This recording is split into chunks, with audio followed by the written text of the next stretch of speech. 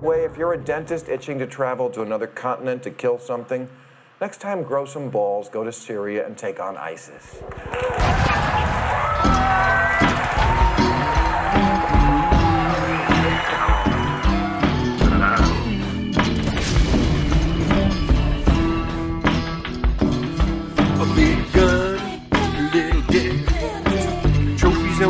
About to make me